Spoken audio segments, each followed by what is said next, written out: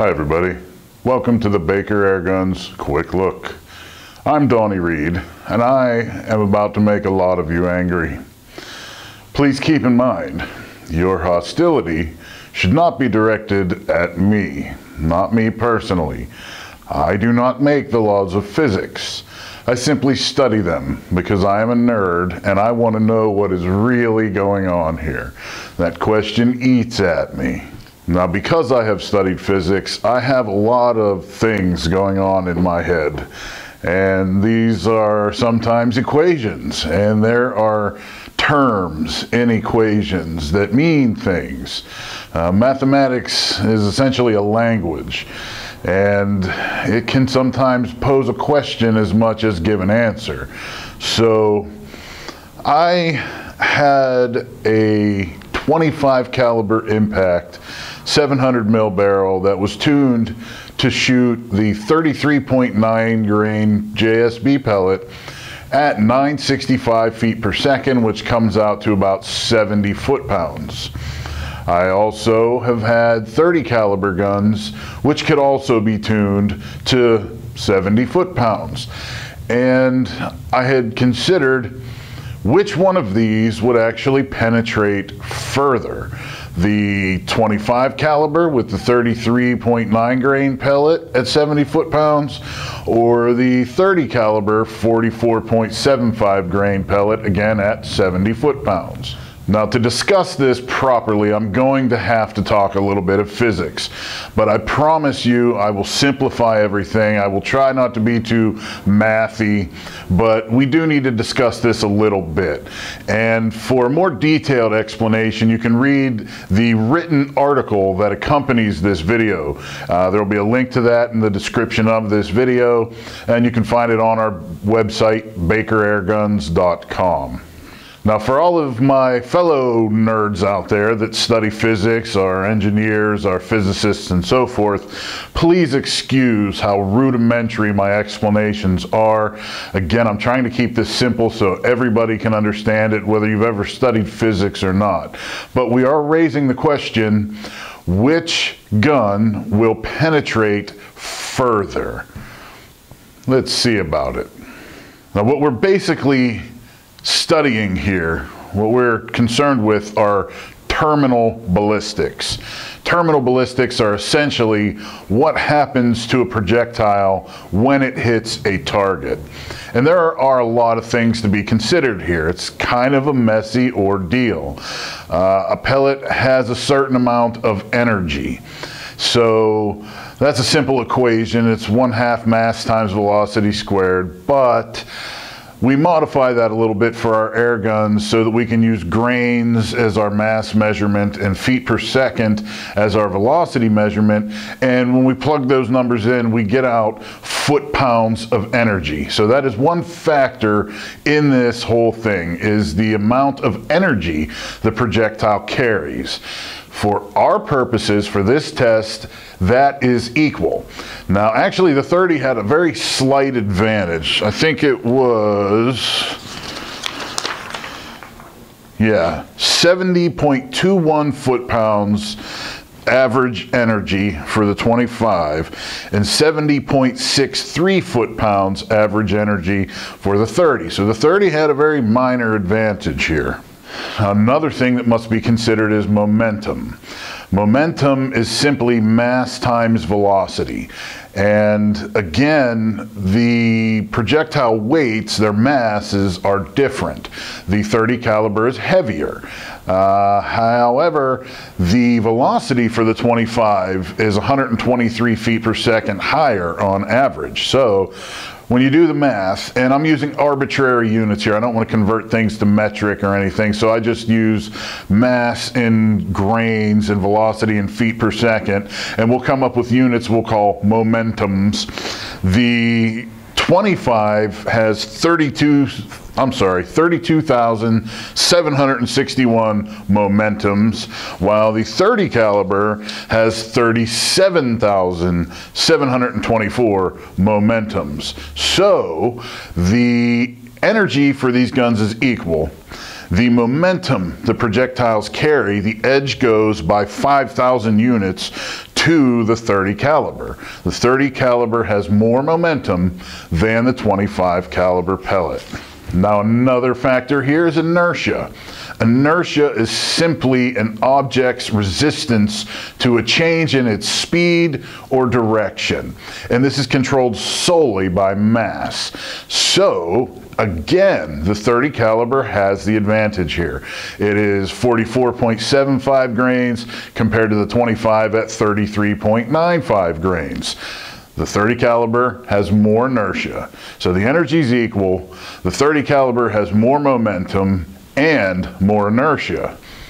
However, most animals average about 70 to 75% water. Therefore, the drag force becomes supremely important to penetration. Uh, for a very simple explanation of drag force, it's essentially how hard the target is pushing back against the projectile. And it will dictate how quickly the projectile stops in that medium, in that target. Now the equation for drag force is a little more than I really want to get into here, but essentially there are three major factors to be considered. Being that all pellets were shot into the same medium, we can discount the density of the uh, uh, target and we can focus on three main factors. One, the cross-sectional area of the projectile. The 30 caliber has a cross-sectional area of 45.58 millimeters squared and the 25 has a cross-sectional area of 31.65 millimeters squared. The 30 caliber has a much higher cross-sectional area than the 25 caliber. Now another factor in this equation is velocity, and this term is squared in the equation. The 25 had a velocity of 965 feet per second. The 30 caliber had a velocity of 843 feet per second. So the velocity is much higher and squared for the 25 caliber. But there's another factor in this equation to be concerned with, and that is the coefficient of drag. The coefficient of drag for the 25 caliber pellet is better than the 30 caliber. So once we get to really considering the force of drag here, it gets a little iffy on which way this would go. So we're forced to test, and that's what I've done. I have two extra long airgun gel blocks from Clear Ballistics. They are four inches by four inches by 18 inches, and I have two of them, and they're calibrated as 10% ballistic gelatin equivalent. So, I decided to take these two air guns and put these gel blocks at 20 yards away and shoot them and see what happened. Now, the first test was what I call the hard target test, and it is meant to simulate a headshot. I put a piece of 4.5 millimeter plywood in front of the first gel block. I sat these gel blocks end to end as I didn't know how far they would actually penetrate and I didn't want to lose the projectiles. So I took my shots and Here's some video of that occurring. Now do not pay attention to where these pellets are in the gel. This medium has the tendency to make a projectile bounce. So the projectile goes in a certain distance and then bounces backwards by the time the gel collapses. So what we measure from is the end of the wound track, not where the pellets are in the gel. So keep that in mind while you're watching this. And I actually first took two shots with each projectile and discovered I had plenty of room left for more. So I actually did five shots each with each gun. Watch these clips. and I'll be back.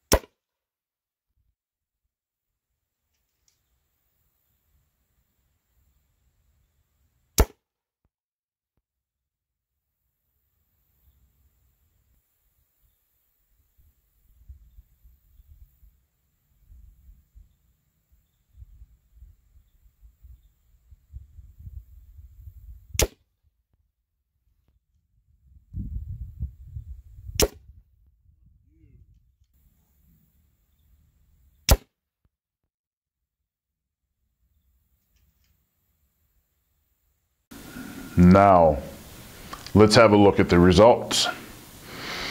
As you can see, the 25 caliber penetrated an average of six tenths of an inch deeper than the 30 caliber.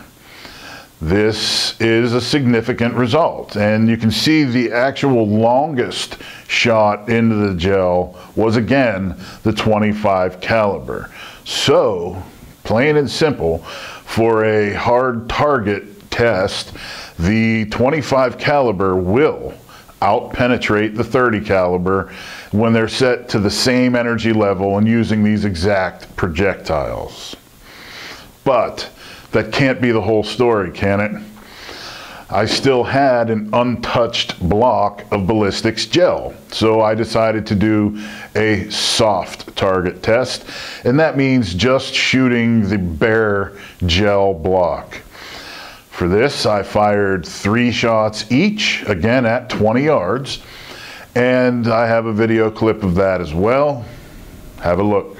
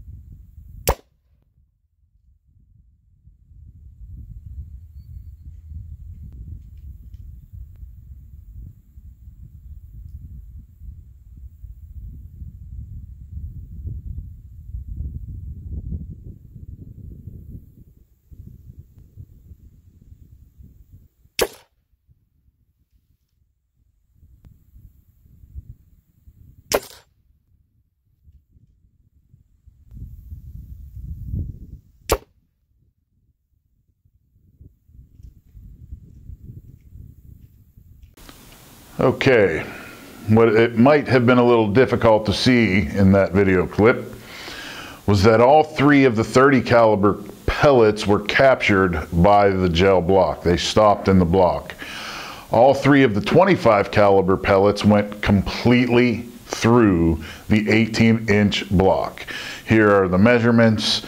As you can see, we've got about 17 and an eighth, 17 and a 16th roughly um, average depth for the 30 caliber, and we have greater than 18 inches of penetration for the 25 caliber pellets. I think this puts the proverbial nail into the coffin concerning this issue.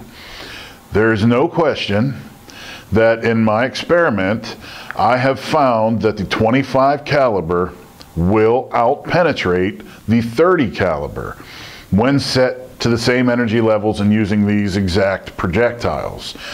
Now, what does that mean? What does that mean to you? Does that mean that the 25 caliber is actually the deadlier gun? In certain situations, I might have to say yes. Uh, if you consider hunting a large animal, such as a hog with a thick, hard skull, you are A, more likely to penetrate that skull with the 25 caliber pellet, and B, likely to penetrate deeper into the brain with the 25 caliber pellet. So in that particular instance, yes. But does that mean the 30 caliber is a puny weakling of an air gun? No. No, it is a supremely deadly air gun. However, as with anything in the world, there are advantages and disadvantages. The simple fact that it is larger in caliber does not necessarily mean it will penetrate further. In fact, it means the opposite.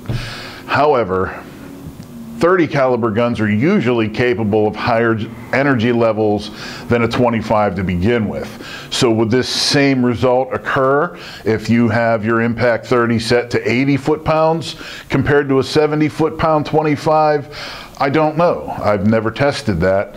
However, now I kind of want to.